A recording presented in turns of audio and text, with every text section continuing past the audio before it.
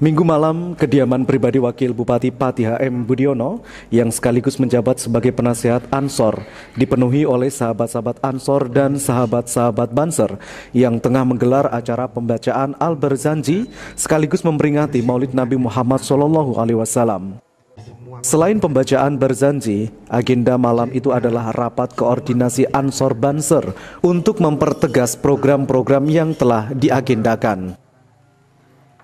Pada malam hari ini, sahabat-sahabat Ansor dan sahabat-sahabat Banser berkumpul bersama dalam rangka membangun silaturahim, eh, mengikat kebersamaan, sekaligus mempertegas program-program.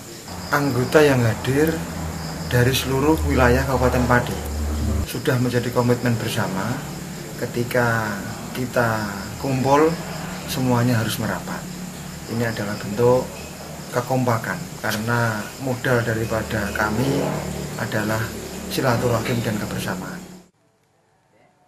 Budiono menegaskan bahwa anggota Ansor dan Banser yang hadir dari 21 PAC dan telah menjadi komitmen bersama ketika ada acara perkumpulan Ansor dan Banser, semua harus merapat. Hal tersebut merupakan untuk kekompakan dan bentuk kebersamaan.